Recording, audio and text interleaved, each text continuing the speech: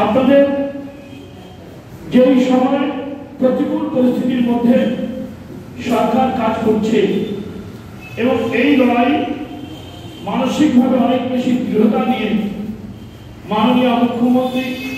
তার সমগ্র প্রশাসনের সমস্ত স্তরের আধিকারিকদের নিয়ে একই সঙ্গে রাজনৈতিকভাবে আমাদের দলের নির্বাচিত জনপ্রতিনিধিগণ,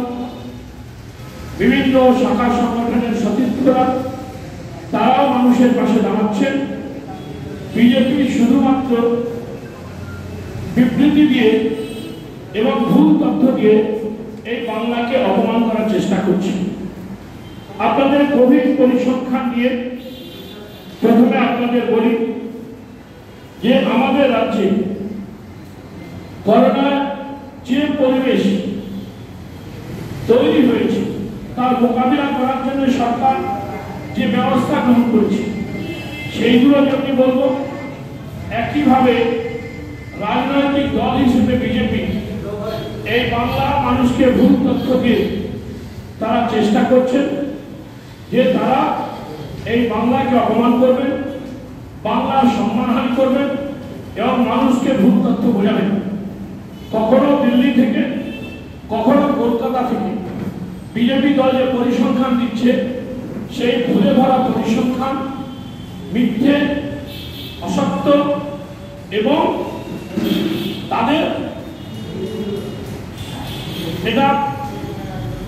একটা চক্রান্ত সরকারের আমরা জনসংখ্যা প্রতি দশ লক্ষ পিছু, আমাদের রাজ্যের পজিটিভ কেস